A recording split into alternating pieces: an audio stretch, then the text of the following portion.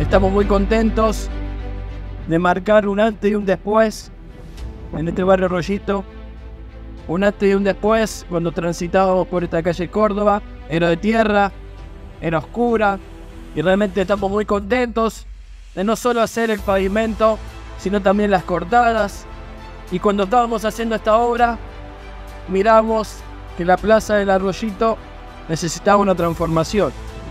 Y bueno, ahí estábamos con Roberto, con David, con Fabricio diciendo, che, ¿qué podemos hacer para transformar realmente esta plaza, para darle visibilidad y para que todos los chicos y chicas vengan a jugar y a pasarla bien?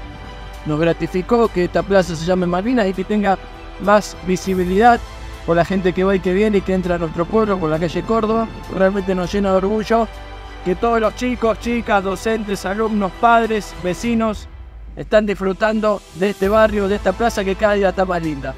Gracias por estar, gracias por compartir, gracias por tomarte estos minutos de estar con nuestros veteranos, de estar con nuestros vecinos, de estar acá en un lugar que realmente que tiene mucha historia, que es el barrio Arroyito, y vamos por más transformación, vamos por más progreso, vamos por más cuadras pavimentadas, vamos por hacer terminar la loma de burro, vamos por más cámaras de seguridad, vamos a seguir transformando Cruzate entre todos. Muchísimas gracias y muy buenas tardes.